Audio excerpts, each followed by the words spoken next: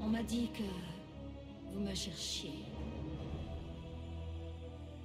Eh bien, montrez-moi la colère des lunes. Et Lune m'a donné sa force. La colère m'appartient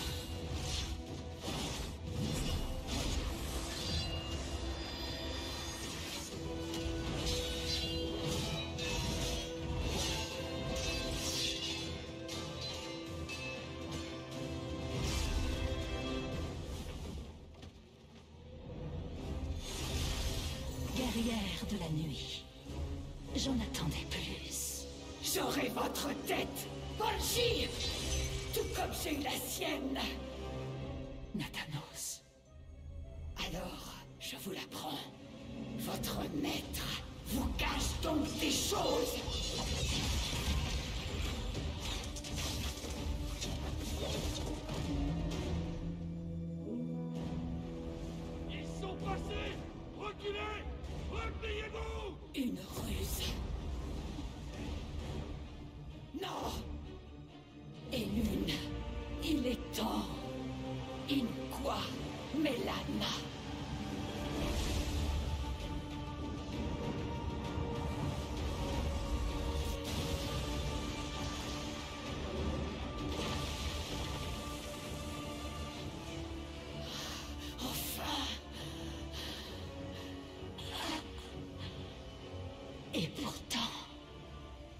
Pouvoir de la nuit décline. Une fois encore, elle vous refuse la victoire. Mère Lune, ne m'abandonne pas. Mets fin à ceci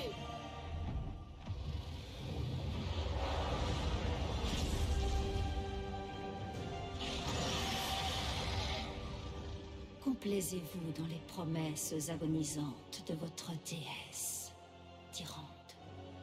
Rien n'est éternel.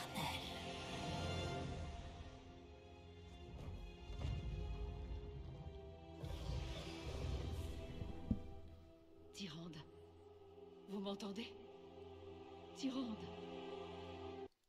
Et bonjour J'espère que vous allez bien. Euh, on va parler un petit peu de cette cinématique euh, entre Tyrande face à Sylvanas. Alors désolé si le son est pas parfait, c'est pas encore euh, officiel. euh, Enfin cette cinématique n'a pas encore été officiellement euh, mise sur le compte, euh, le compte YouTube tout simplement. Je crois que d'ailleurs ils en avaient mis pas mal, mais ça avait gueulé à l'époque, donc euh, c'est pour ça qu'ils ont ils ont pas encore mise. Alors pour rappeler un petit peu le contexte de cette cinématique, je rappelle qu'il y avait une autre cinématique entre Anduin et, et tout simplement Kirestia, donc l'Arconte. Cette vidéo, elle était annoncée à la BlizzCon Online, donc bah, elle est déjà traitée dans la BlizzCon Online. Donc ce sera juste la suite. Si vous l'avez, si vous avez raté mon analyse, n'hésitez pas à aller voir la playlist Shadowlands. C'est, bah, ce sera l'avant-dernière du coup, vu que je mettrai celle-là. Mais voilà, donc pas, pas, pro- pas de problème, vous pouvez aller la voir. On avait pas mal décrypté le truc. Euh, en l'occurrence, celle-ci, rappelons un petit peu le contexte. Euh, je pense que ceux qui n'ont pas fait la campagne de congrégation des, des fées nocturnes vont peut-être être un peu perdus sur deux trois trucs, puisque bah, Tyrande, ça faisait un moment qu'on l'avait pas vu. La dernière fois qu'on l'avait vu, Tyrande, c'était euh, en cinématique tout du moins, c'était face à Nathanos, donc début de, de Shadowlands. C'était même la transition, c'était dans le pré-patch. Donc au final, c'est une cinématique aussi que j'avais euh, décrypté. Et euh, donc là, le contexte, rappelons-le, au début de Shadowlands, Tyrande euh, a foncé la tête la première dans l'antre, mais elle peut pas euh, sortir de l'antre euh, n'importe comment. Enfin, personne ne peut sortir de l'antre n'importe comment, sauf le joueur évidemment. Ah, mais on va pas aller sur ce sujet. Euh, du coup, Tyrande était encore coincé dans l'antre. Euh, C'était quelque chose qui concernait énormément bah, son bras droit et sa fille adoptive, qui est Chandris, Chandris Feathermoon ou Penlune, et qui elle, par contre, bah, fait 2 deux, trois allers-retours dans l'antre, notamment avec le joueur, mais est principalement, c'est vrai, dans la chez les fées nocturnes où justement elle parle avec Isera, elle parle avec la reine, euh, la reine euh, de l'hiver, etc. Donc il y a pas mal de, il y a pas mal de, ça parle beaucoup justement euh, de Tyrande et ce qui pourrait être fait pour aider Tyrande, puisque j'avais aussi, j'en avais parlé aussi dans les cinématiques de l'enlèvement. En fait, en gros, Tyrande, avec le pouvoir de la guerrière de la nuit, petit à petit est en train de se c'est en train de c'est en train de la tuer à petit feu en fait parce que ce pouvoir est immense et euh, l'idée du contrat c'est enfin une espèce de contrat quand vous devenez la garde de la nuit euh, vous euh, enfin y a pas y aura vous, atteignez un point de non retour donc vous allez mourir en utilisant ce pouvoir et généralement bah, l'idée c'est utiliser ce pouvoir pour protéger le monde et ensuite bah, une fois que ça c'est fait bye bye quoi. Donc c'est un peu ça l'idée En l'occurrence, donc euh, Sylvanas, pour rappeler un peu pourquoi ça se passe à Sylvarden, tout simplement parce que, euh, donc pour faire suite à la cinématique avec Anduin, euh, le, geôlier essaye de trouver des clés pour pouvoir se libérer. Enfin, on part du principe que c'est pour se libérer, mais ça peut avoir d'autres, euh, ça peut avoir une autre utilité en plus de se libérer. Euh, ce qu'ils appellent en anglais les sigils, euh, les sigils. En français, ce mot existe, mais ils ont préféré les traduire par euh, caché. Me demandez pas pourquoi. Euh, et donc le principe c'est que euh, gros il a déjà récupéré le cachet de Kirestia, donc de Bastion, de l'Archonte, euh, donc la, clé euh, de Bastion. Et en fait, ça c'est super bien fait dans, dans la 9.1. En gros, les personnages bah, ne parlent pas comme des scénaristes, mais comme des véritables personnages. Ils, ne se demandent qui va attaquer, euh, enfin qui le geôlier va attaquer ensuite. Et ils partent du principe que bah, le primat, euh, le primus a, disparu, donc euh, le cachet de Malraxus, bah, on ne sait pas où il est. Il y a probablement de grandes chances qu'il l'ait déjà.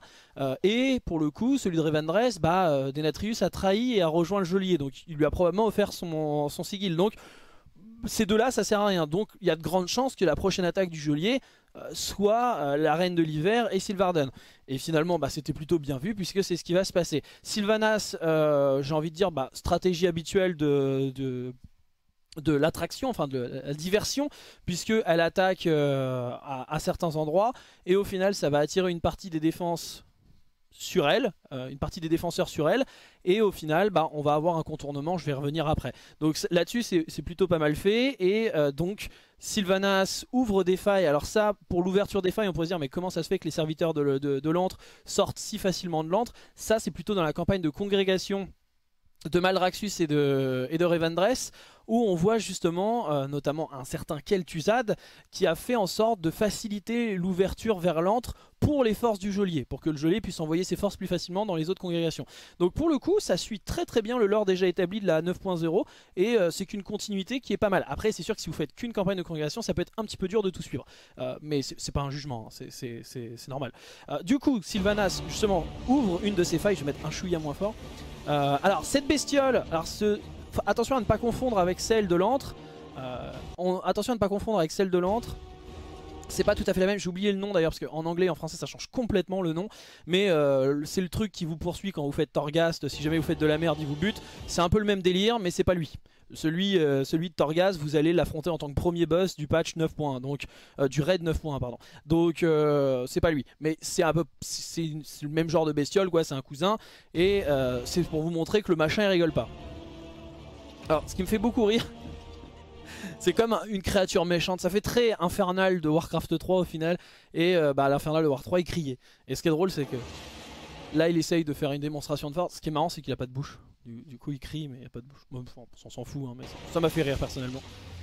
Et pour montrer euh, que Tyrande rigole zéro, eh bien, on la voit utiliser le portail d'un des sbires du geôlier pour pouvoir s'échapper. En plus, elle en profite. On en profite pour vous rappeler que Tyrande, elle est badass en lui faisant exploser une des bestioles les plus puissantes de l'antre.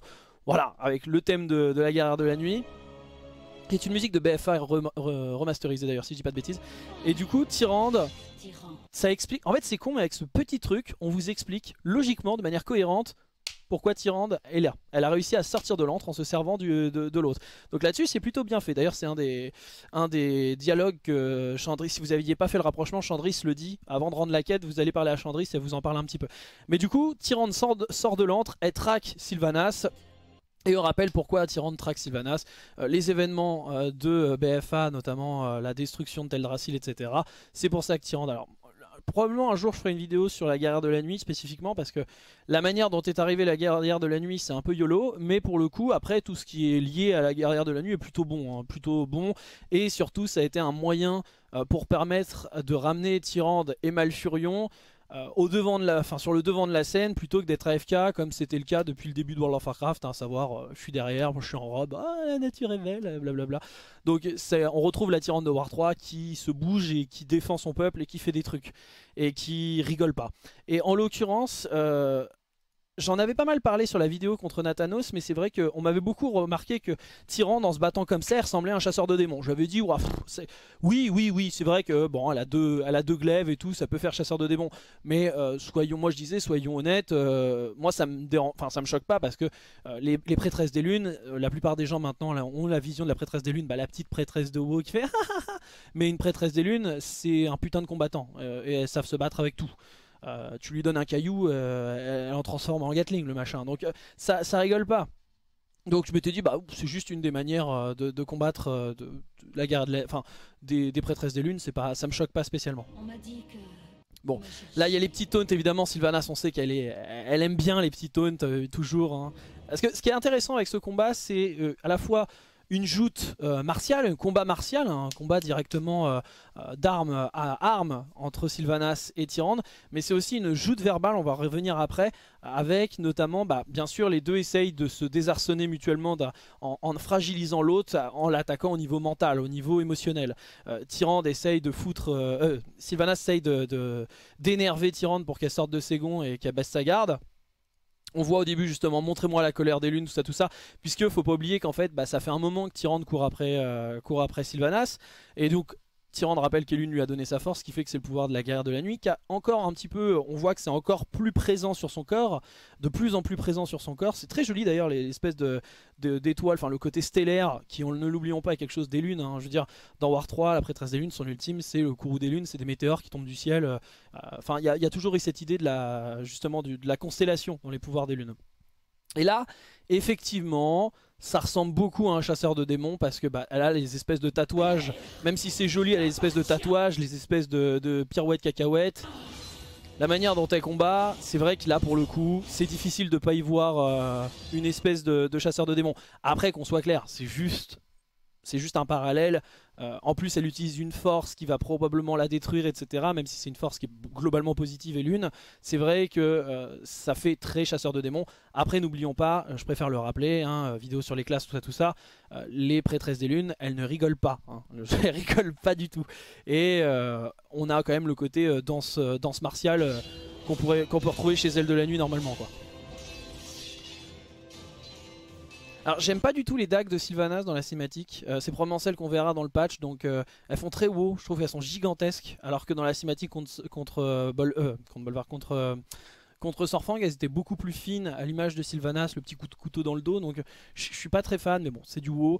Là, ce passage-là, alors c'est rigolo, je suis désolé, je vais devoir mettre un petit tacle.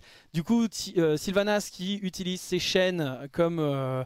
comme contre Bolvar euh, lors de la cinématique d'ouverture de, de Shadowlands, mais surtout euh, comme à Hotelka contre Arthas euh, lors des dans la mince, euh, c'est la salle des reflets, tout simplement dans la salle de reflets où elle retenait Arthas. Arthas s'était libéré, il avait mis du temps, mais il s'était libéré, et euh, ça avait été cet écho-là qui avait fait euh, la cinématique d'intro de, avec Bolvar, qui était justement chopé par les chaînes. Et la différence, c'est que Bolvar lui n'avait pas pu sortir de ce de ce, de, de ce sort, quoi, de, ce pouvoir de, Sylvanas. Ce qui est très drôle, du coup, là, c'est que bah, Tyrande, elle, explose, elle explose le sort de Sylvanas. Surtout que voilà, Sylvanas dit bon, j'ai réussi à te, réussi à te coincer, j'en attendais un peu plus de, la guerre de la nuit, et euh, on voit la colère de, Ty- de Tyrande hein, qui euh, est là. Elle est pas là pour rigoler, hein, elle est là pour, pour tuer Sylvanas.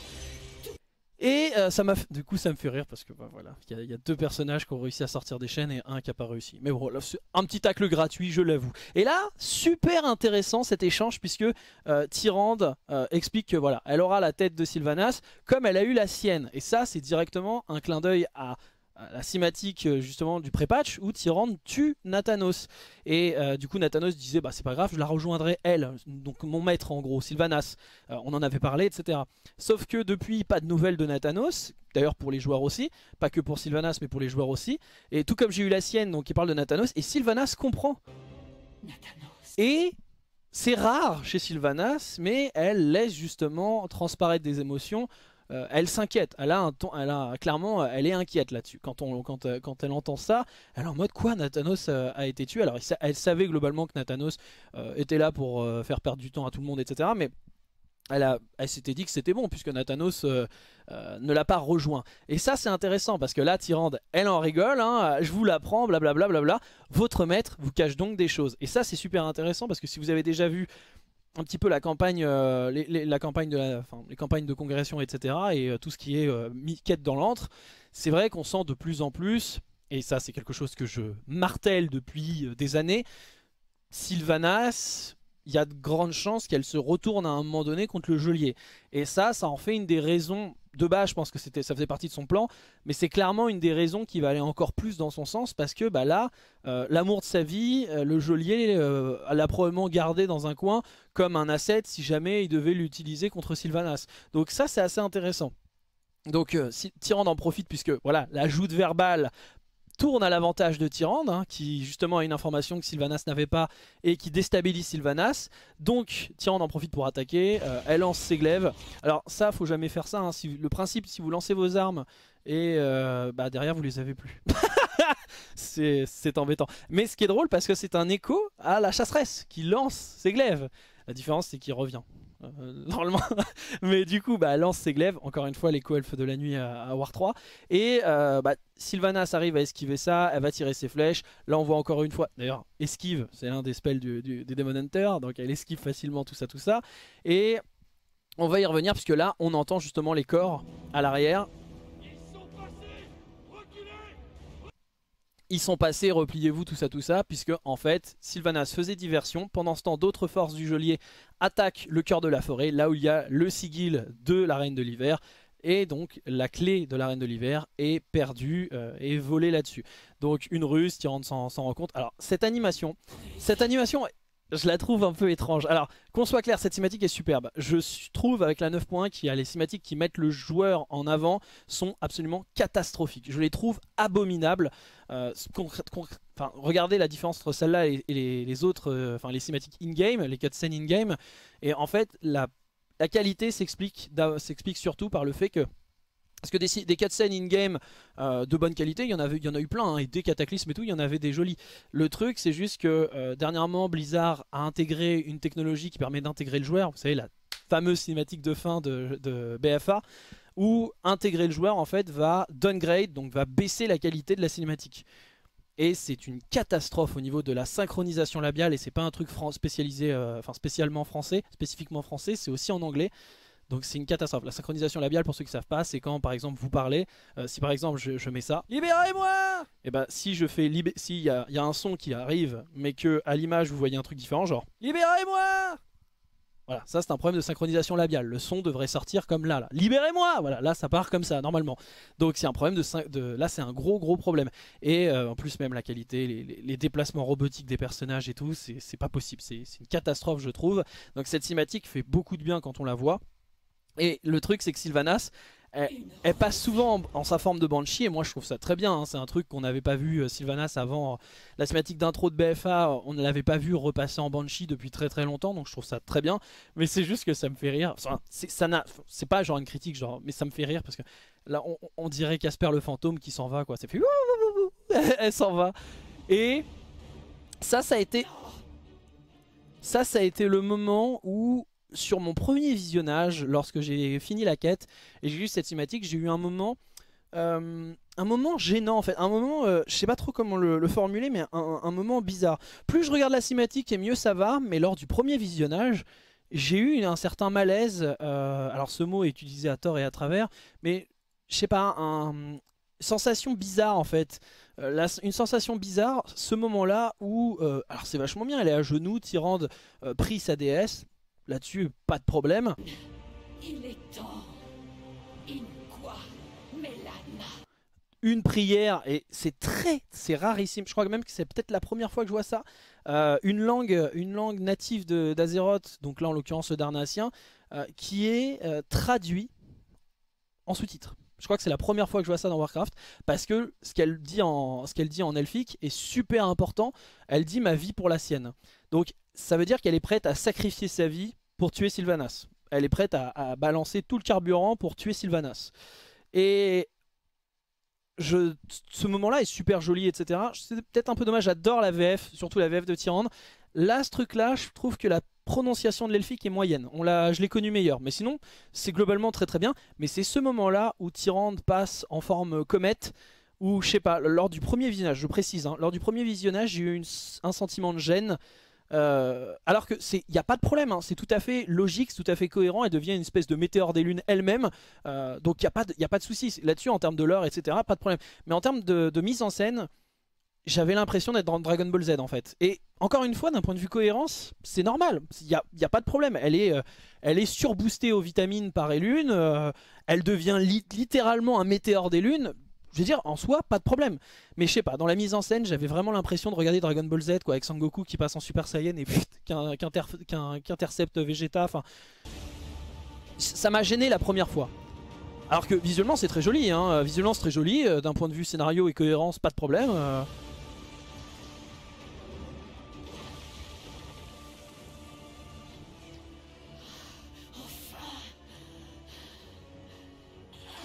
Alors, ce passage m'a un peu fait rire. Euh, encore une fois, c'est pareil, aucun problème, euh, mais ça m'a ça m'a fait rire. Enfin, c'est juste, je rigole tout seul parce que je suis très con, mais euh, Tyrande qui étrangle Sylvana, Sylvana c'est un mort-vivant. Donc elle ne respire pas. Donc tu ne peux pas lui bloquer la respiration. C'est comme essayer de noyer un mort-vivant. Bah il respire pas, donc pas de problème pour aller sous l'eau. Mais évidemment, c'est pas un problème. Pourquoi? Parce que bah le cou, c'est également aussi euh, l'un des, c'est quand même l'un des endroits super importants au niveau de la colonne vertébrale, donc au niveau du, réseau nerveux. Donc tu lui casses le cou. Pour le coup, là, le mort-vivant, il est terminé. hein. Euh, c'est comme couper la tête. On coupe la tête de quelqu'un, c'est pour, euh, c'est pour justement détruire le centre, de, enfin, le centre nerveux qui est relié avec le reste du corps. Donc si tu lui brises le cou, elle est morte. Donc en l'occurrence, lui tenir le cou, puis c'est aussi une grosse image, puisque bah, ça veut dire que l'étau se resserre sur Sylvanas, elle est tenue, euh, elle est prise à la gorge, littéralement. Donc ça marche. Mais c'est vrai que ça m'a fait rire parce que je me suis dit, si tu pars du principe qu'elle essaye de l'étrangler, c'est con. Mais en fait, elle est là pour lui casser, elle est là pour lui briser le cou. Et elle le fait à main nue. Euh, C'est aussi pour ça qu'elle avait jeté son arme dans la cinématique. C'est pour pouvoir avoir cette image-là qui fait énormément sens. Mais du coup, ça, me fait juste, moi je me marre parce qu'en mode, bah elle respire pas. Mais on voit justement que elle sent que elle est en train de se faire euh, latter euh, la tronche, la petite Sylvanas. Et c'est rare, mais on la voit vraiment. Là, elle rigole pas des masses, là, Sylvanas. Mais elle sent justement que le pouvoir de la nuit décline. Donc au départ, elle est prise à la gorge et ça se passe mal. Mais petit à petit, l'étreinte, et heureusement qu'elle parle, parce que c'est vrai que c'est difficile à retranscrire, euh, l'étreinte se dessert. Et petit à petit, elle peut résister contre euh, le pouvoir de Tyrande. Et là, elle nous précise qu'en fait, bah, et on le voit petit à petit physiquement, toute la bénédiction des lunes, etc., tous les tatouages des lunes commencent à s'enlever, montrant justement, sans disparaître totalement, montrant qu'en fait, alors, il y a pas mal d'interprétations possibles à ce niveau-là. Euh, beaucoup sont en train de se moquer de cette cinématique en disant elle a plus de batterie, euh, pensez à Duracell. Euh, c'est très drôle. Mais en l'occurrence, moi, dès le premier visionnage, j'étais pas en mode c'est complètement con ou quoi que ce soit. Au contraire, Tyrande vient de dire ma vie pour la sienne. Elle est prête à sacrifier sa vie pour tuer Sylvanas. Comment elle fait ça? Elle appelle une tierce personne qui est Elune, la déesse. Donc c'est la déesse Elune qui lui confère une partie de son pouvoir. Du coup, si jamais la bénédiction des lunes s'enlève, c'est pas un bœuf. Donc, ma théorie, et il y a très grande chance que ce soit le cas, c'est juste que Elune n'est pas prête à perdre Tyrande en fait. Je rappelle quand même que de toute l'histoire des prêtresses des lunes, etc., Tyrande est celle qui est le, plus en communion avec Elune. Euh, jamais une prêtresse de la nuit a été aussi proche de la déesse. Euh, D'ailleurs, euh, pendant la guerre des anciens, elle est considérée comme une prodige et une génie parce que bah, justement, euh, Elune, c'est presque l'avatar des lunes, Tyrande. Et en devenant la guerre de la nuit, elle est encore plus l'avatar des lunes. Donc, s'il y a un dysfonctionnement sur, le pouvoir de la guerre de la nuit, bah, à mon sens, le truc le plus logique, c'est juste que Elune n'est pas prête à sacrifier Tyrande. Alors, il y a aussi potentiellement une partie de la réponse qui se fait par la campagne de 9.1. Je vais pas trop trop spoiler, euh, mais le principe, c'est justement que euh, ça va avoir des conséquences, bien entendu. C'est déjà quelque chose qu'on avait vu lors, de, lors de- des cinématiques de l'enlèvement où je vous en avais parlé.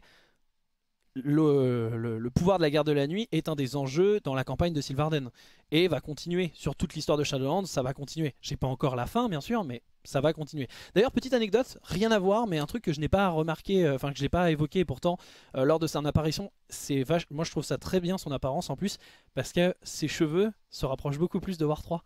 On dirait, ils sont beaucoup plus bleus que verts. C'est un petit mixte. On dirait vraiment la tyrande de, la, jaquette de Warcraft 3, je trouve.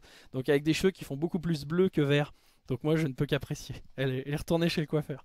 Euh, donc voilà, une fois elle refuse la victoire, blablabla. Le Sylvanas est en train de prendre le dessus. Tyrande euh, euh, continue de désespérément appeler à l'aide Elune et malgré tout bah, on voit hein, petit à petit le, le pouvoir s'enlève. Tyrande est en mode, bah, elle est aveuglée par la colère, en mode, bah, il faut, que- enfin, soit juste quoi, soit une déesse juste et, tuer, tuer Sylvanas va, va sauver la vie de beaucoup de monde. Donc, euh, euh, mets fin à ce cycle de souffrance, tuons, euh, tuons Sylvanas.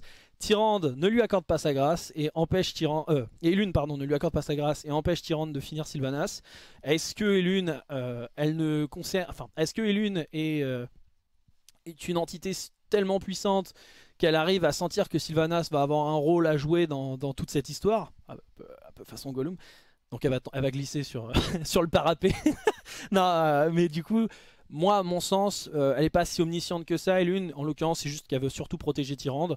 Euh, pour le coup, je pense pas qu'elle elle ait une double vue. Après, peut-être que Blizzard ira là-bas en mode elle veut protéger Tyrande. Et elle sait que Sylvanas va avoir un rôle à jouer. Pourquoi pas Moi, déjà, le simple fait qu'elle veuille protéger Tyrande, c'est déjà une très bonne euh, raison en soi. Euh, et là, ça fait plaisir aussi, c'est la suite de la campagne de Sylvarden. Isera sert pas à grand chose malheureusement dans la campagne de. Pourtant, c'est tout le pexing de Sylvarden, mais dans la campagne de enfin dans la campagne de congrégation de- des Fées Nocturnes, et c'est vrai que Isera sert pas des masses. Là, euh, on en profite. hein, elle avait déjà son modèle créé pour une cinématique de Légion, donc. Elle revient, elle aussi est un des représentants des lunes, et du coup, comme si c'était Elune elle-même qui débarque, elle vient pour protéger Tyrande. Parce que Sylvanas, n'oublions pas quand même un truc, je pense que beaucoup l'ont oublié, mais à ce moment-là, Sylvanas est en train de reprendre le dessus. Donc Sylvanas va potentiellement tuer Tyrande. Euh, et au final, bah, du coup, Isera intervient pour euh, protéger euh, Tyrande de Sylvanas. Mais une fois que Sylvanas s'en va, alors elle dit un truc qui est très intéressant complaisez-vous dans les promesses agonisantes de votre, de votre déesse, ça peut avoir un double sens. Le simple fait déjà que le pouvoir de la guerre de la nuit bah, est en train de faire agoniser Tyrande, c'est déjà en soi ça, fait sens par rapport à ce qu'elle dit. L'autre point, c'est faut pas oublier que le geôlier, euh, l'un de ses objectifs, même s'il veut récupérer le truc des fondateurs, tout ça, tout ça, euh, un des gros objectifs et que, euh, Denatrius nous, évoque, c'est tout simplement le fait que la mort, en tant que force cosmique, veut un petit peu tirer la couverture vers soi et va vouloir un peu casser les noisettes des autres forces cosmiques et vouloir potentiellement permettre une domination de la mort.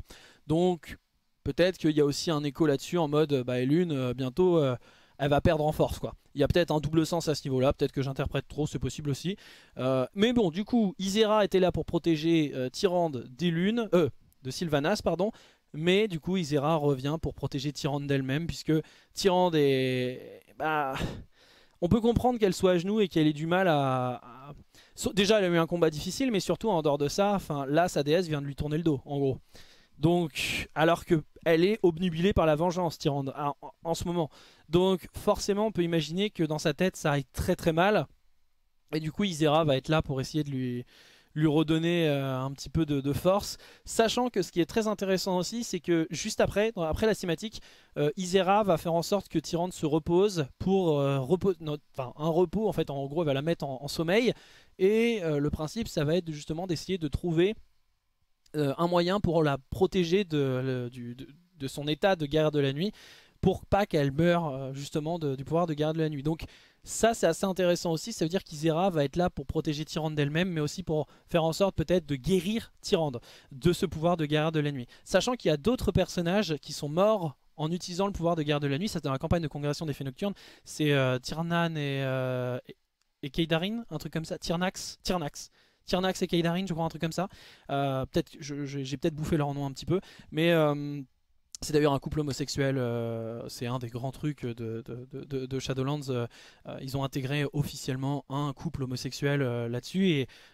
D'ailleurs, c'est vachement bien introduit. C'est pas juste ils sont homosexuels pour être homosexuels façon chromie. C'est vraiment un truc qui est voulu. Et pour le coup, bah, c'est assez bien fait. Et ces personnages-là sont des. Il y en a un des deux qui a été, je me rappelle plus lequel, mais il y en a un des deux qui a reçu le pouvoir de guerre de la nuit sur un autre monde qu'Azeroth. Euh, et au final, ces personnages-là se sont, battus contre un dieu très ancien qui était euh, menacé le monde, leur monde, qui n'est pas Azeroth, je le rappelle. Et finalement, eh ben, ils ont réussi, grâce au pouvoir de guerre de la nuit, à détruire le dieu très ancien. Donc au final, euh, Isera va justement, donc, je le redis, plonger en, en stase un petit peu Tyrande. Et il semblerait que l'un des objectifs de Shadowlands va être de euh, soigner hein, tout simplement Tyrande. Et il y a de grandes chances, euh, je sais que j'ai 2-3 infos, Euh, mais en dehors du spoil, juste tout simplement, on peut partir du principe qu'il y a de grandes chances que Tyrande, un petit peu l'image de Jaina dans sa période très très très agressive de, de of Pandaria, enfin fin Cataclysme, Mist of Pandaria, Légion, etc. Comme à BFA, il y a de grandes chances que Tyrande arrive à euh, aller de l'avant et ne soit plus obnubilé par la, par la colère. Parce que la plupart des gens se disaient déjà on va taper Tyrande. Il y a de grandes chances que Tyrande euh, avance d'un point de vue euh, scénario et narration dans le récit. C'est en tout cas ce qu'essayent de faire Isera et Chandris, donc on verra. Deux petites choses également à, à apporter. J'avais déjà fait une vidéo sur la renaissance d'Isera et le dialogue qu'il y avait eu entre les, les fées nocturnes et justement euh, la reine de l'hiver par rapport à la sœur, la fameuse sœur. Euh, moi personnellement, ma théorie a toujours été que, vous savez, je suis pas trop, je sais que beaucoup, beaucoup font des vidéos genre et la vraie nature des lunes, tout ça, tout ça. Moi, c'est un sujet qui m'intéresse pas des masses parce que souvent ça s'argumente sur du rien. Euh, là, de plus en plus, ça commence à prendre forme et il y a de grandes chances que Elune soit, euh, comme je l'avais annoncé, là, là encore une fois, on le voit un peu plus. Petit, petit truc, ce qui me fait dire ça aussi, c'est par exemple bah, là, l'endroit que vous voyez au fond, on voit la reine de la nuit qui utilise un spell, c'est l'émetteur des lunes, en gros. C'est les météores des lunes de, War 3, quoi. C'est la prêtresse, le sort de la prêtresse des lunes. Elle balance des météores de, pouvoir d'anima, d'effets nocturnes, et ça ressemble comme deux gouttes d'eau au courroux des lunes. Donc pour moi, il y a de très grandes chances que bah, tout simplement Elune soit un éternel. Euh, un éternel, alors probablement pas de la mort, mais plutôt de la vie, et qu'elle soit en gros, Elune serait un peu la reine de l'été, là où, euh, là où, où l'autre est la reine de l'hiver, tout simplement. Donc moi, moi, ce serait ma théorie, on verra si euh, l'avenir euh, l'avenir me donne raison ou pas, mais je trouve en tout cas, même si c'est pas forcément la reine de l'été, il y a de grandes chances euh, que euh, Elune soit, soit une éternelle. Au final, ça c'est ma théorie. hein. Pour le moment, c'est pas rien de fait ou quoi que ce soit, pas de spoil. c'est- euh, ma théorie. Et j'ai l'impression qu'on va, de, on a de plus en plus d'éléments qui qui étayent ces- cet argumentaire, on va dire. Euh, en enfin cette théorie. En, en en l'occurrence, euh, autre point que je voulais évoquer.